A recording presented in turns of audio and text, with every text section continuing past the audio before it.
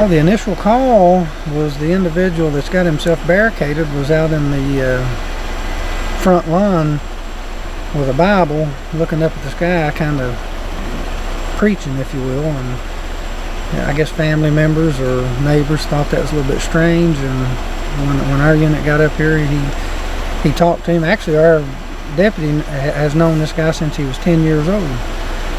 And he tried compromising with him, and the individual just wouldn't cooperate, so he deployed a taser.